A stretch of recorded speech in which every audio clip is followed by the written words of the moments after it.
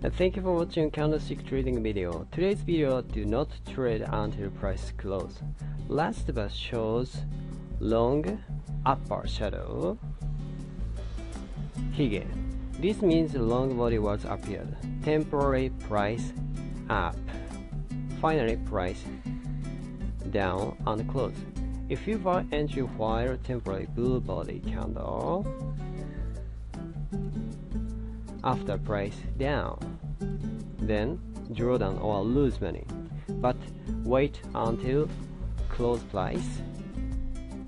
Last bar shows very strong sell sign, so we can decide to sell trade. Wait trade until price close. This is very important. Thank you.